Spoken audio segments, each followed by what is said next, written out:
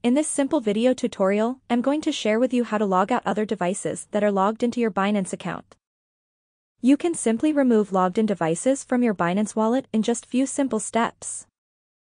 To do this, simply open up your Binance. On this page, tap on your profile icon right here. You will have to scroll down onto the option of security. On the security page, scroll down onto the second last option of devices. All devices that are logged into your Binance account will display right here.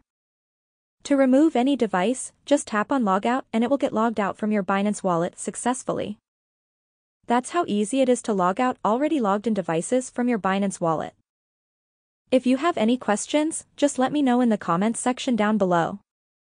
Please don't forget to leave a like, share and subscribe for more video tutorials like this one.